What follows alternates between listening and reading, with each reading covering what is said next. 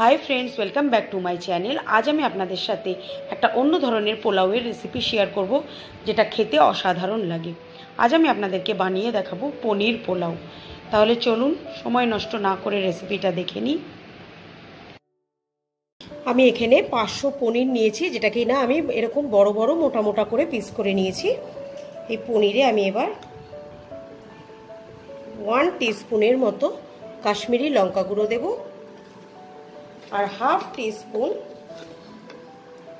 নুন দেব। দিয়ে এটাকে আমি খুব ভালো করে মেখে দশ মিনিট আমি এইভাবে এটাকে রেখে দেবো।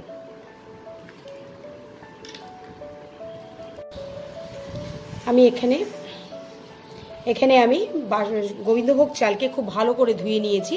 এবার এটাকে আমি আধ ঘণ্টা এইভাবে জল ঝরিয়ে রেখে দেব। আমি গ্যাসে একটা কড়াই বসিয়ে নিয়েছি। এবার এতে আমি থ্রি টেবিল স্পুনের মতো হোয়াইট অয়েল দিলাম।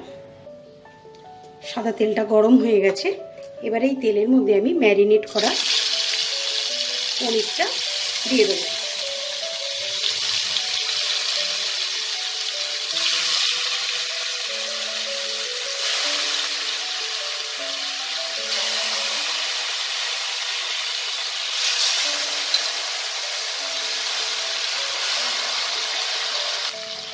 পনিরটাকে আমাকে হালকা ব্রাউন করে একটু ভেজে নিতে হবে।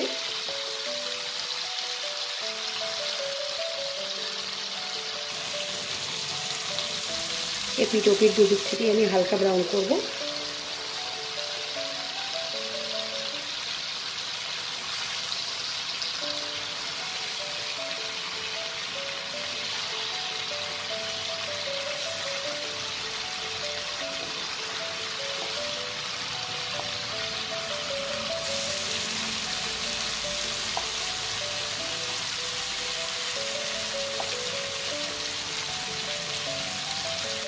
পনিরটা আমার হালকা করে দুদিক থেকে ভেজে নেওয়া হয়ে গেছে। এবার আমি এটাকে তেলের থেকে তুলে নেব।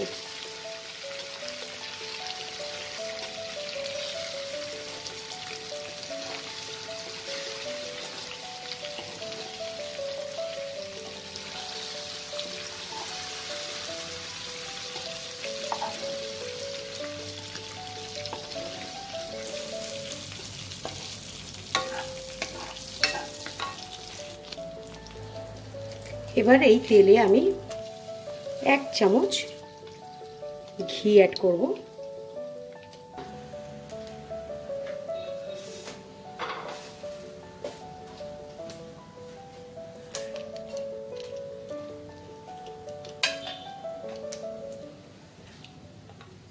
চার পাঁচ টুকরো আমি দারচিনি দিলাম।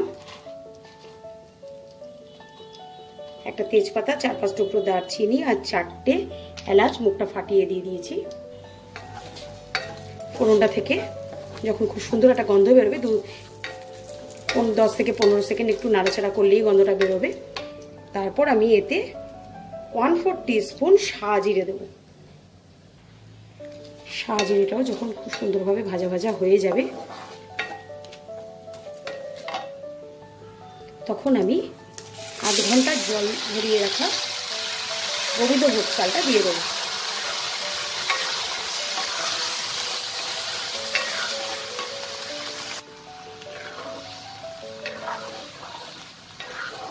এবার চালটাকে দু তিন মিনিট আমি একটু নাড়াচাড়া করব। তেলে একটু ভাজবো। দু তিন মিনিট নাড়াচাড়া করে নেওয়ার পর এবার আমি এতে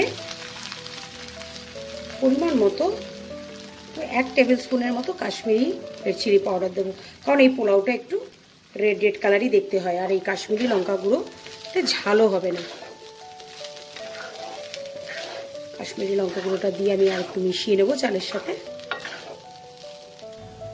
এবার এতে আমি যেই গ্লাস দিয়ে মেপে চালটা নিয়েছি, সেই গ্লাস দিয়ে মেপেই জল নেব। আমি এখানে ডাবল জল নেব। যত গ্লাস চাল নিয়েছি তো তার ডাবল জলটা নেব।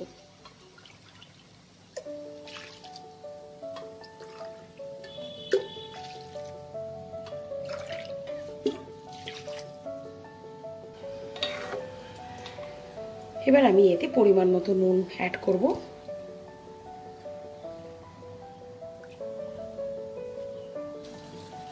আর টু টেবিল স্পুন চিনি অ্যাড করব।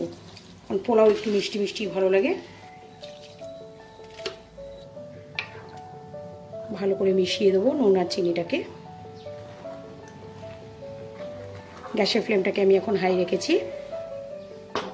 জলটা ফোটা অবধি আমাকে ওয়েট করতে হবে। ঝোলটা, জলটা ফুটে গেছে।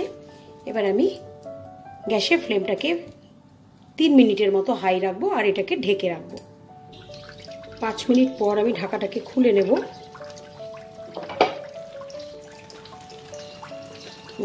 চাল অনেকটাই ফিফটি পার্সেন্টের মতো সেদ্ধ হয়ে গেছে।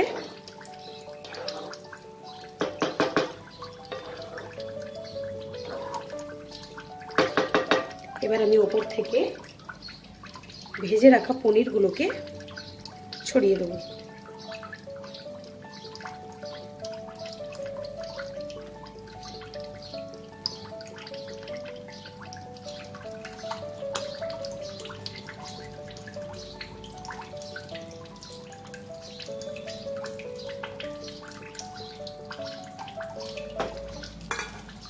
তারপরে গ্যাসের ফ্লেমটাকে আমি মিডিয়াম করে দিয়ে আরও পাঁচ মিনিট এটাকে ঢেকে রাখব। আরও পাঁচ মিনিট পর আমি ঢাকাটাকে খুলে নিয়েছি।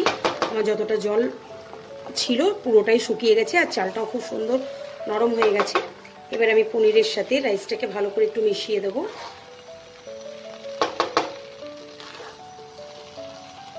গ্যাসের ফ্লেমটাকে অফ করে দেব। লাস্টে আমি উপর থেকে ওয়ান টিস্পুনের মতো একটু ঘি ছড়িয়ে দেব।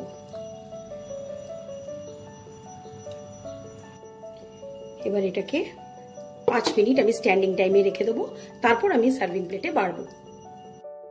তৈরি হয়ে গেল আমার গরম গরম পরীর পোলাও।